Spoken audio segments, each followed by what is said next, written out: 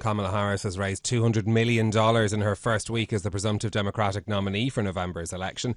Our Bloomberg TV anchor, Kriti Gupta, is with us uh, for more on the political story in the US. Kriti, can you put these numbers in context for us? How big is this fundraising drive? How does it compare to what Donald Trump's taking in? Yeah, so 200 million is, is where we're at here. And, and this is really important because 66% of that 200 million has come from first time donors. And this is a really big deal because one of the big reasons for Kamala Harris uh, to, to even have this focus on campaign uh, pushing in the first place is that a lot of the pool of money that was really set aside for the Biden campaign and really raised through the Democratic National uh, Party was meant to be kind of something inherited by Kamala Harris. So for her to say that actually more than even half of that new money is coming from first time donors really shows that this isn't really an inheritance story. This is actually more of kind of broadening support, not just among the Democratic Party, but among independents as well. This is something that's being reflected in the poll numbers as well. I think that's as well very significant because her numbers have skyrocketed from 35% of an approval rating up to 43% to the latest ABC poll. Now, I want to I want to kind of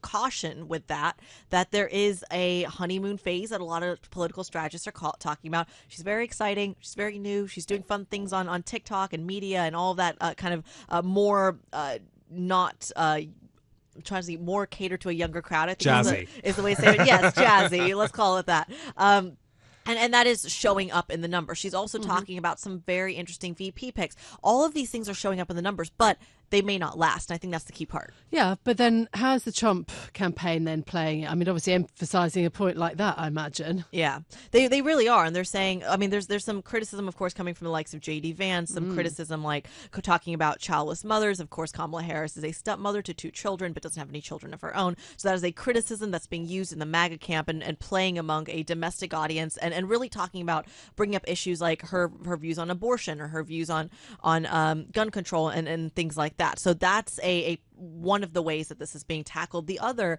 is uh, coming from President Trump himself, really saying that, look, she's not going to be appealing to a broader crowd. And he's actually taking a different approach and appealing to actually a Bitcoin crowd. I know that sounds like two different things, but the reason it's so significant is simply because uh, the idea is who gets kind of the bigger numbers, who gets massive. She's appealing to the female vote. And if she's appealing to kind of the minority vote, perhaps, then the way that Donald Trump and the Trump campaign is talking about is doing it more to kind of a decentralized uh, monetary uh, kind of meme stock crypto crowd, and that's one way of getting uh, getting more votes.